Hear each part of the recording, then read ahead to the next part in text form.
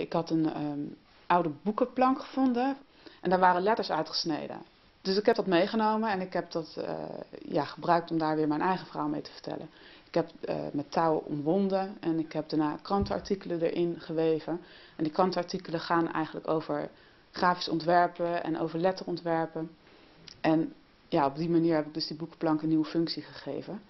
toen ik hem vond had hij al een tijdje buiten in de regen gelegen, dus hij begon langzaam te verroesten. Ja, dat gegeven van die vergankelijkheid en het vernieuwen, dat vond ik ook wel uh, iets heel moois, heel symbolisch.